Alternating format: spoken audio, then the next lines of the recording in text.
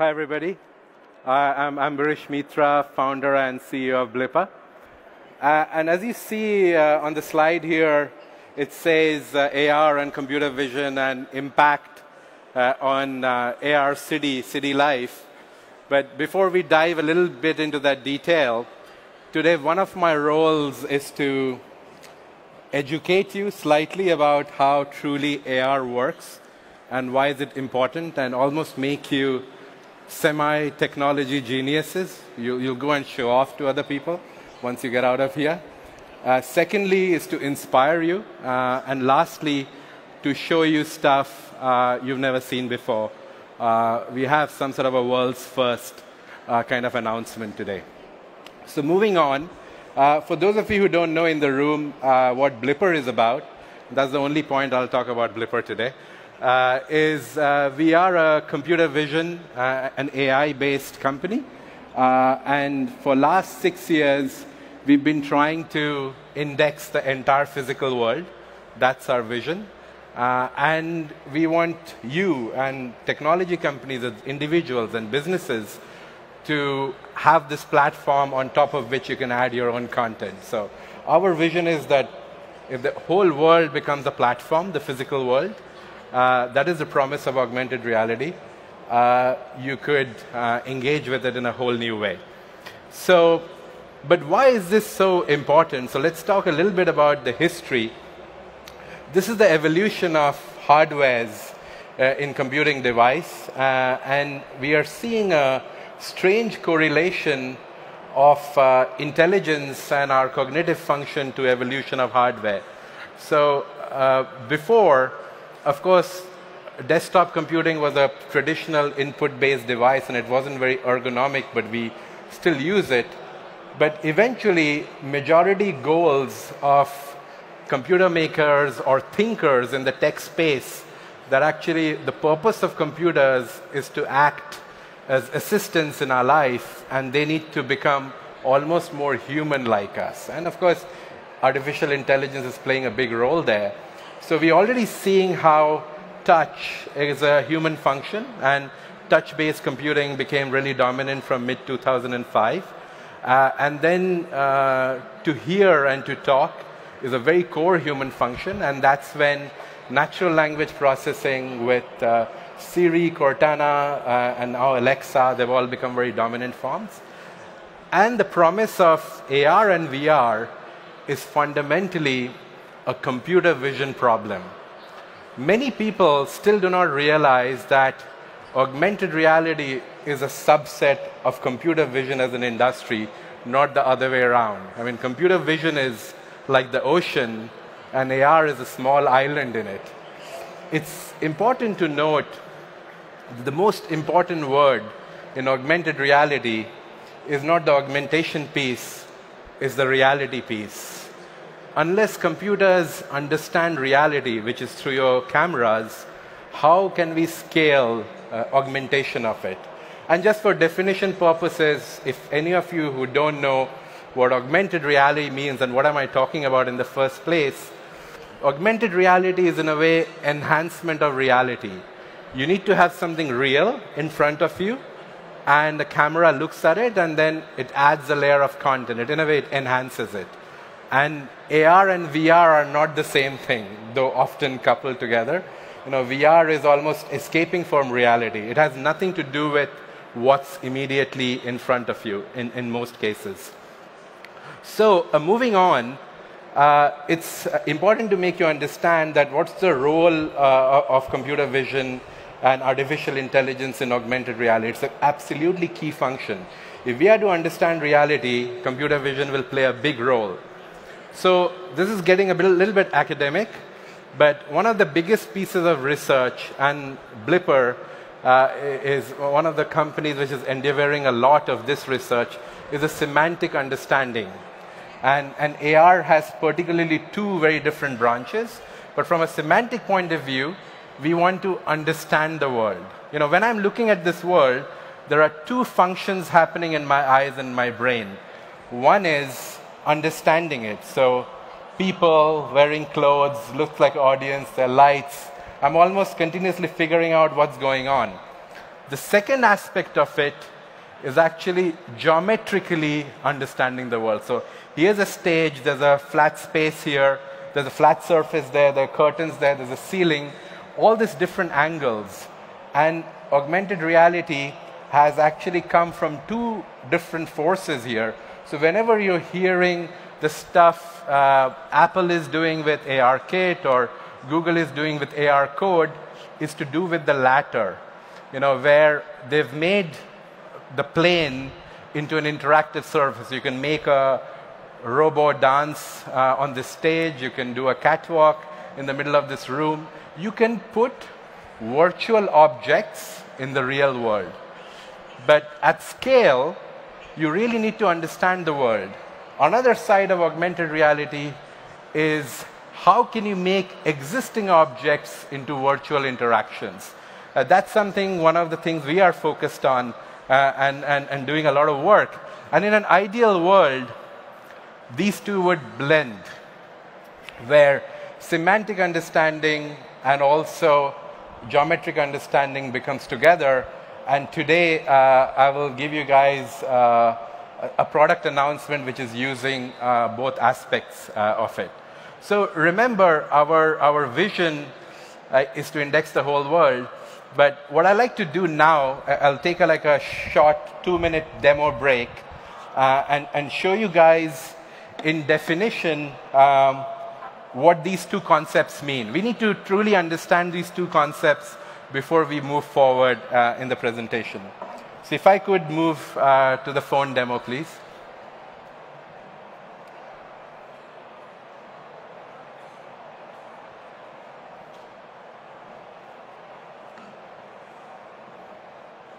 All right, you can see my phone uh, on the big screen. Uh, I'm going to open uh, the, the Blippar app here.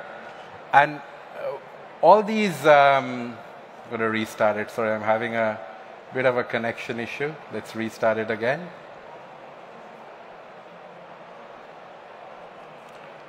Okay, still having a connection issue. I'm going to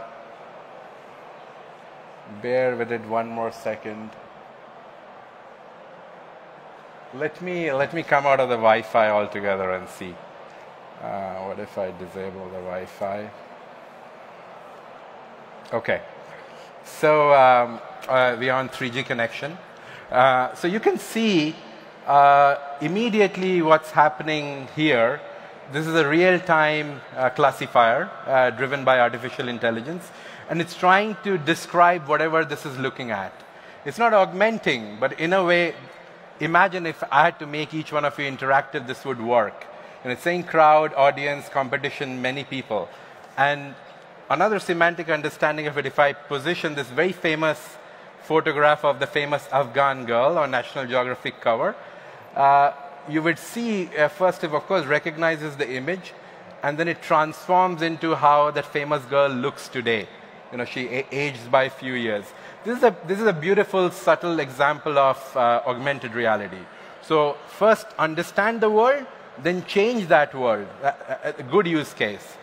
The next use case I'd like to show you is, uh, oh, that's her name, Sharbatkul. It's a, it's a face recognition engine as well. So if you, if you put it at uh, like majority of uh, public figures in the world, uh, it should be able to uh, recognize each one of them in almost 100 millisecond real time. So these are these all forms under the semantic understanding. Now I, I come out of this app and I'm going to demonstrate uh, altogether a different app, um, an interesting app some cool people are working on. This is an example of geometric AR, where it's not recognizing anything, it's all about surface area. So if I, if I come out and uh, uh if I am going to choose an interesting character here, I just hold on one second. Um, let's say, if I want to, yeah, exactly. If I really want to make this robo dance on this stage, uh, uh, you can see what's happening. You know, I can literally go near that robo. I can walk all around it, and it's focused in an arbitrary position, uh, literally there. Or if I want to make this uh, Moose character walk, walk up the stage uh, from the audience uh, and wave at you guys, it has, it has nothing to do with immediate reality. It is all to do with surface area, okay? You get this idea. So that's, that's the demo for now. Let's move back to the presentation, and I'll come back and show you something else a moment later.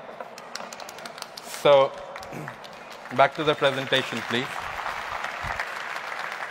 So using the technology, we have understood the world, and we've also understood geometry.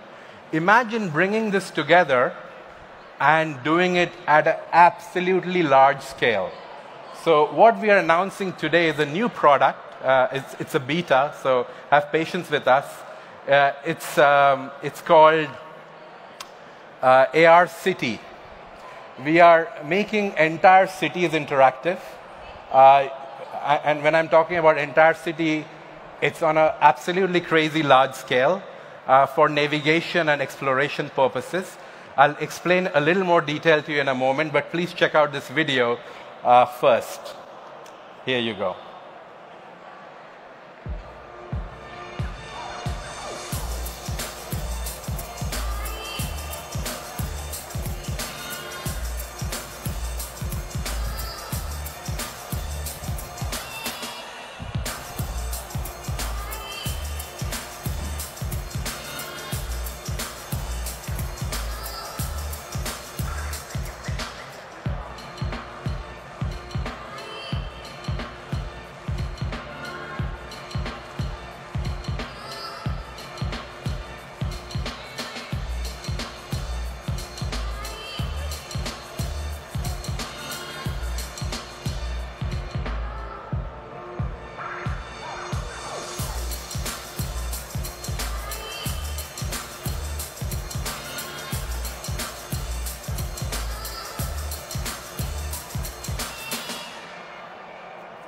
Cool. So uh, this goes live uh, on the App Store now, uh, literally today, uh, AR City. Uh, we're doing, we're launching it with initially 300 cities worldwide, which is pretty much uh, most of major cities in the world. The technology would really, really work well on a one square meter radius in San Francisco, Mountain View, and London because of some technical reasons. If someone's interested to know, I can cover. But this technology has, it's an ensemble of five things going on. The most important breakthrough here is a technology called visual positioning system.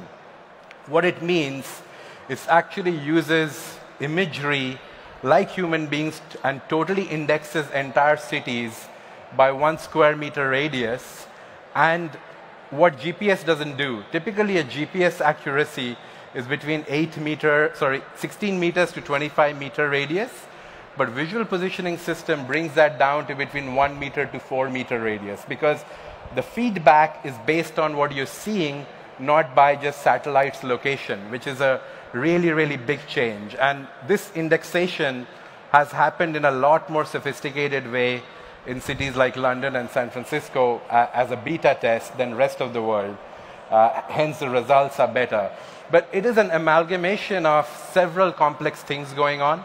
A concept called uh, visual inertia odometry, uh, which is like a light slam.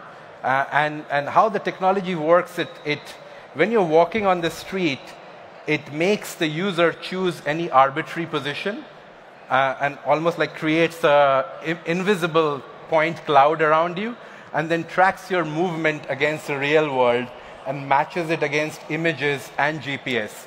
And huge amount of complex things is going on, but it's a combination of computer vision based AI, GPS, visual positioning system, knowledge graph, all the labeling that appears on top of the building. So when you're walking around, not only will you know the name of the roads label literally superimposed on the street, but you can also explore. You can name, know the name of the shops, key, key important buildings, even mundane addresses like you know, post office or your own home address.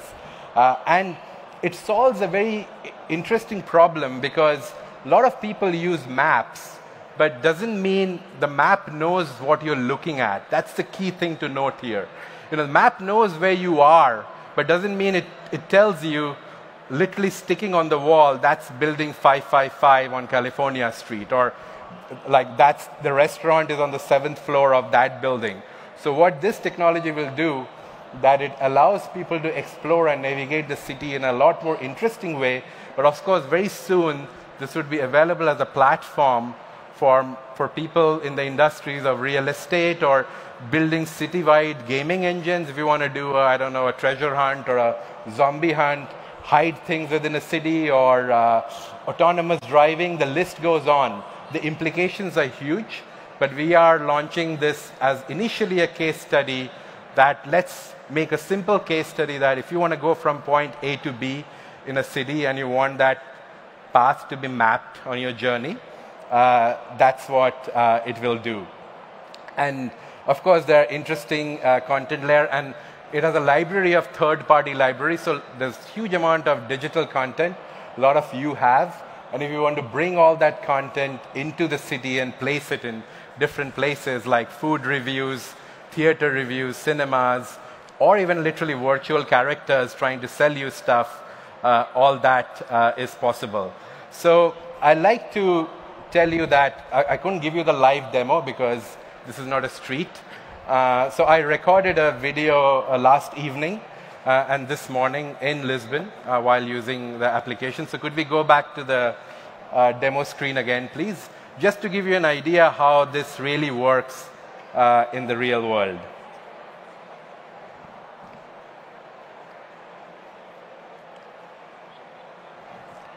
So uh, this was me uh, walking in, in uh, one of the streets uh, in Lisbon uh, last evening, and you were able to see uh, literally my path.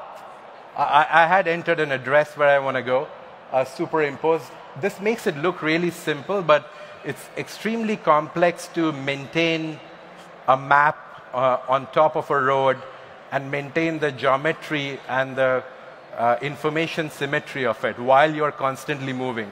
Remember, this is not a map, this is a map on top of the real world, which is a, a lot different computational complexity, and it's a big area of research right now for computer vision scientists uh, around the world. Uh, and I, I want to show you something even I, this was working when at night. So this is again uh, me walking and I'll even fast forward parts of it just to show you like that's, that restaurant is called Gurkha, uh, and it's literally labeled on top of it. Uh, and and you, you can go from a lot of interesting places. So please try it out. Bear with it. It's new. This is a beta launch. It's the world's first. But this technology will significantly improve from here onwards and could become the future of navigation with AI and AR. Thank you very much.